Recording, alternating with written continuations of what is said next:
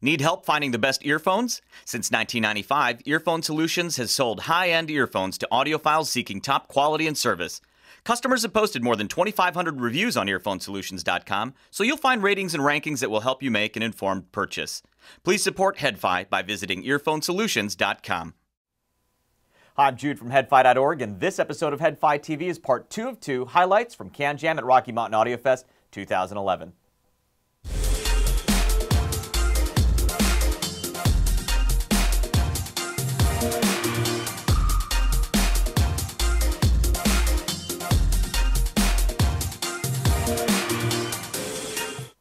Last episode, part one, we talked about JH Audio's JH3A rather extensively, but JH Audio wasn't the only one making waves in in-ears. On the custom in-ear side, another manufacturer getting a lot of attention at CanJam at RMAF, Ultimate Ears. Their in-ear reference monitor is of great interest to a lot of audiophiles because of the fact that it's, uh, it was designed to be a neutral, uncolored reference for studio use. And it really is neutral and uncolored. If if neutrality is what you're looking for in audio, I can't think of a headphone I'd recommend over the in-ear reference monitor. Now, if you want neutrality or a more neutralish sound, but maybe with a little bit more warmth, uh, a little bit more bloom, then the Westone ES5 uh, would, would probably be a better choice. In fact, it would be a better choice if that's what you're after. Now, it was very interesting at the show because Ultimate Ears and Westone were situated across the aisle from one another, so some people were comparing them one after the other. Um, and the opinions that I got from the few people I talked to that compared them uh, was pretty evenly split. Uh, and it comes down to just what I said. If you want neutrality, uncolored, uh, a flat sort of presentation, and by the way, great imaging with the in-ear uh, reference monitors, one of the best of any of the in-ear monitors I've heard. Uh, this is such a great choice. Um, but again, you want a little bit more bloom, the ES5. They're both $999, so it's going to come down to preference between the two, but that's why you have to come out to CanJam at RMAF uh, next time if you didn't come this time because it's a great opportunity to compare products like that on the spot. Another in-ear maker getting a lot of attention at CanJam at Rocky Mountain Audio Fest was Unique Melody. Now, before I go any further, I wanted to thank those guys for coming out because they came out from Australia, halfway around the world to be with us at CanJam at RMAF, and it was really awesome to have you guys there, so thanks for coming out. Now, as far as Unique Melody goes, of all the things they had at their table, the one thing I wanted to hear the most I missed, and it was the Merlin. The Merlin, to the best of my knowledge, is a very unique in-ear monitor in that it uses a dynamic driver for the bass and uh, balanced armatures for mids and highs. Uh, now, even though I didn't get to hear it, someone whose opinion I do trust came up to me and thought it sounded really, really fantastic and, and actually said, did you hear the bass on those things in the most favorable light? He meant it, and, and uh, I will definitely hear the bass on those things the next time. The uh, Merlin, by the way, goes for $779. On the universal fit side of in-ear monitors, there were at least a couple models getting a lot of attention. One of them was this, the Phonak Audeo PFE 232. A lot of HeadFiers have been waiting quite some time for this, the new flagship from Audeo. It was worth the wait. These sound absolutely fantastic, and they're one of my two favorite universal fit in-ear monitors currently available. Um, Engineered in Switzerland, the sound is precise, but describing the sound precisely is very difficult because you can actually change the sound signature to one of three different signatures using a filter system. If you're not familiar with the filter system on the Audeo models, um, go to the URL that you see on the screen right now and you can find out what it's like there. Just know that I use the middle filter setting, which is the gray filter. Now, I said this is one of my two favorite Universal Fit in-ear monitors. The second of the two is this, the Westone 4. It's been out for a while, but it's very, very popular in the HeadFi community. a lot of people were auditioning this too at CanJam at RMAF, and rightfully so. Um, this has a more neutralish sound signature, very revealing, very resolving. Um, and again, one of my two favorite Universal Fit in-ear monitors currently available. Price on the uh, Phonak PFE 232s, uh, the Audeo PFE 232s, $599. The Westone 4s go for between uh, 450 and $500, depending on whether you buy the normal Westone 4 or the new one, which is the removable cable version, the Westone 4R. Because so many of us have stopped using spinning discs to listen to music, DACs, or digital to analog converters, have become increasingly important in the HeadFi community, and especially those with USB inputs so that we can use them with our computer rigs. There were a few of note at CanJam at RMAF and RMAF that I wanted to mention, starting with Lavry Engineering's DA11. The reason I wanted to start with the DA11s, I actually have two of these. Yes, in the last couple years, I've purchased two DA11s because I love the DAC that much. Uh, don't let its simple appearance fool you. It's actually very full-featured. Uh, it has the USB inputs, of course, that we're talking about. It also has coaxial input, and its analog output is fully balanced. It also comes with a built-in headphone amp section, which is really nice. So if you're looking for a DAC with a built-in headphone amp section, put this at the top of your list because it's very, very good. And I also like the fact that it has a digitally controlled analog step volume control that controls both the headphone output and the, uh, the rear analog outputs. Because if you, like me, you use a lot of different headphone amps at varying sensitivities, it's very nice to be able to control the output level. One very unique feature of the DA11 is something called PIC, or Playback Image Control. It allows you to manipulate the uh, soundstage, the image left and right. Um, and it happens in the digital domain, and it has very little effect, maybe even no effect uh, uh, in some settings, on, on tonal balance, which is very hard to do with crossfeed. So in a, headphones, in a headphone system, that PIC can be used as essentially a variable crossfeed, a digital variable crossfeed, very well implemented, and that's what I use it for. But if you use this in a speaker rig, you can actually then change the imaging of your speakers. So that's a really cool feature, the playback image control of the DA11. Price for the uh, Lavry DA11, $1,480. Centrance was at the show showing a couple of new DAC models, including a new DACport model called the DACport LX. The original DACport, which is still available, is a DAC about this size, and the DACport LX is the same size. Um, and in this, in this diminutive chassis, Centrance squeezes in a USB bus-powered 2496 USB DAC with a built-in Class A headphone amplifier. That's in the original DACport model. The DACport LX is for those people who don't need the built-in headphone amplifier of the original DACport, and so it saves you 100 bucks.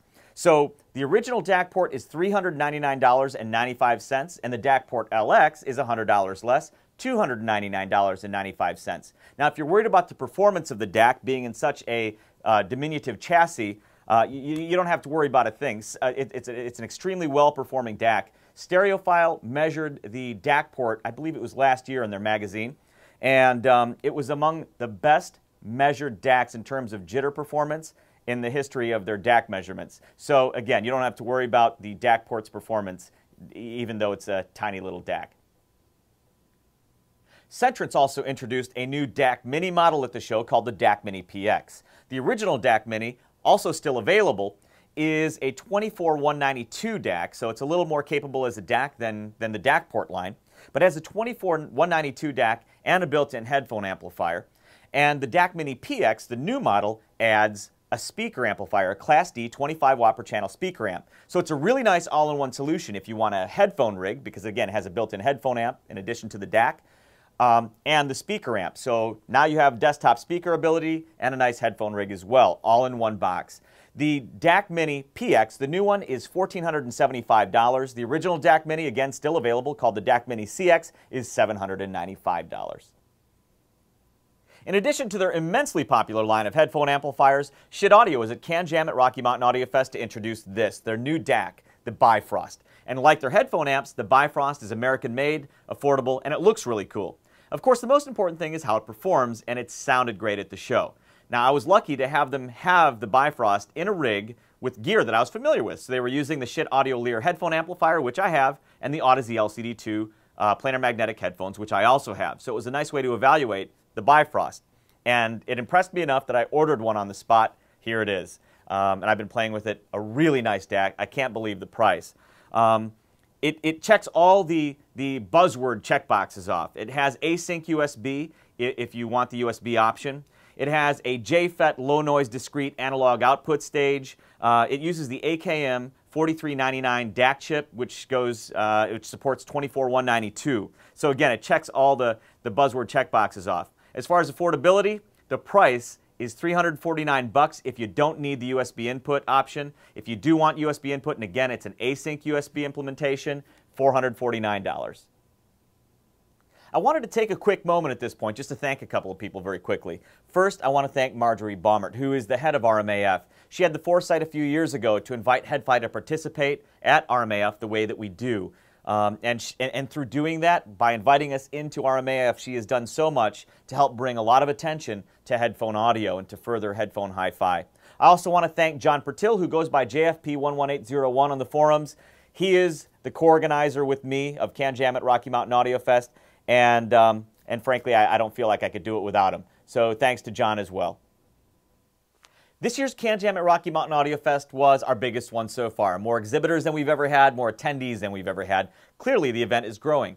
And it, I felt like it was actually pulling in people from all over the world. it, it was just, it felt like a really international event. And so that was really cool. I already mentioned that Unique Melody came all the way from Australia. Uh, Addicted to Audio also came from Australia. They didn't exhibit, but it was nice to actually meet with them there. Fostex exhibited, and they came all the way from Japan.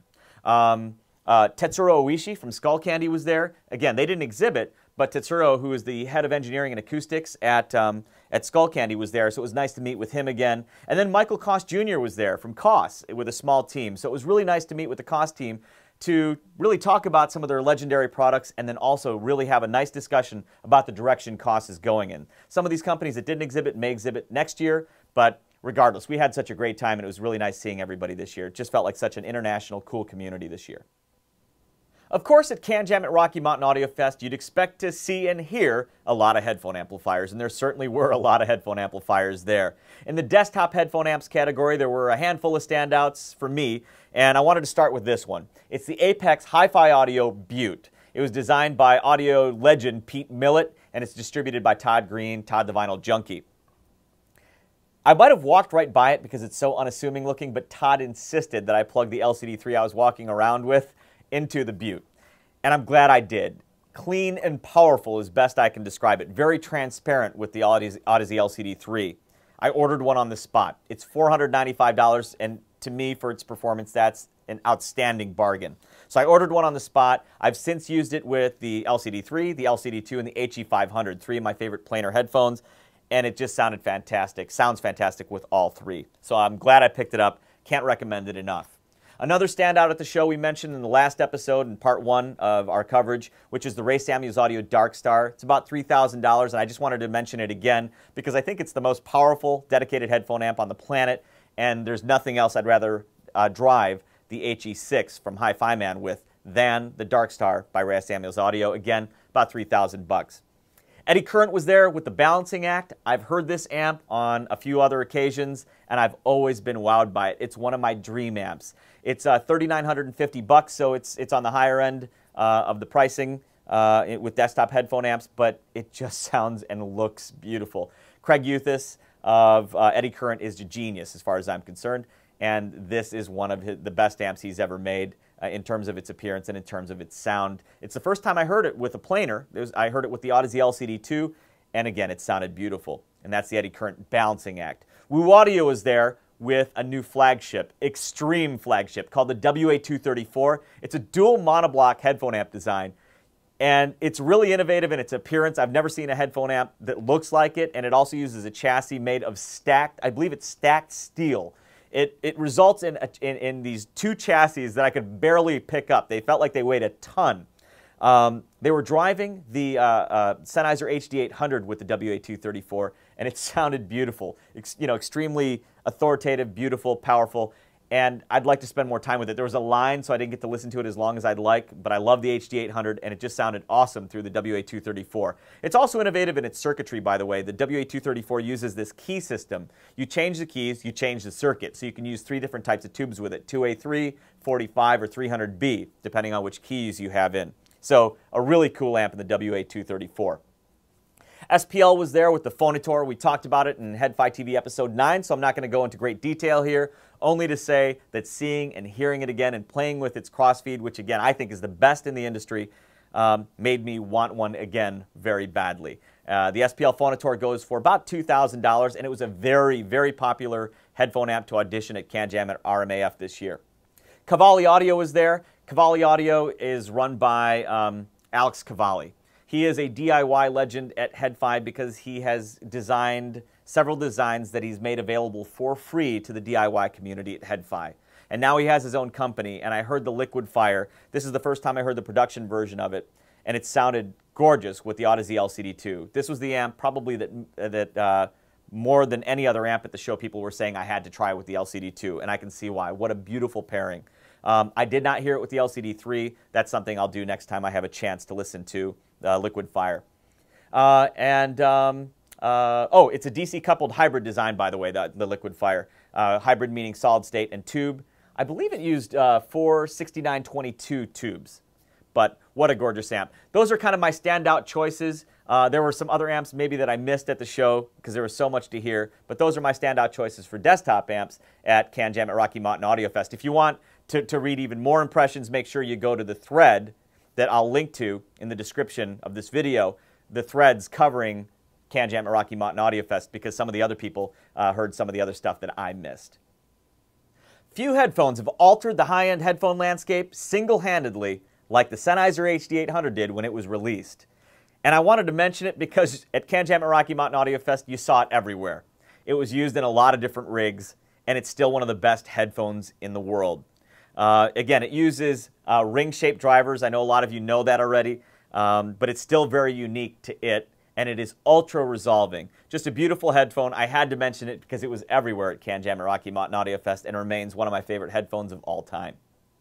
Like so many HeadFiers, for many years I've enjoyed listening to Beyerdynamic headphones, but it wasn't until they released the Tesla line, beginning with the T1, that I became a big Beyerdynamic fan. Now at CanJam at Rocky Mountain Audio Fest 2011, the big Beyerdynamic exhibit was a pretty popular stop because they had a pretty wide breadth of headphones, including the Tesla line.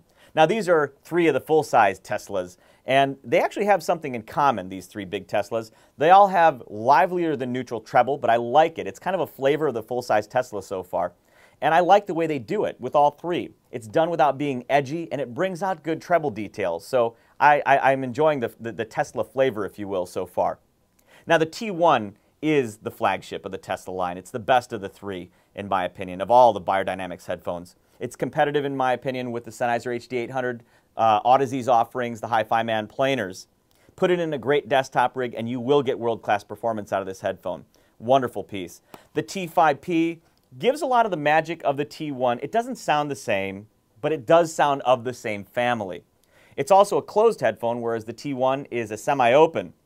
It has low impedance and a short cable terminated in mini, so clearly Beyerdynamics is encouraging the use of uh, the T5P with portable, uh, portable setups. I use it directly out of my iPhone, and it sounds good. Put it in a portable rig, a good portable rig, it sounds even better. Put it in a really good desktop rig, and it scales up really high. Not quite as high as the T1, but really high.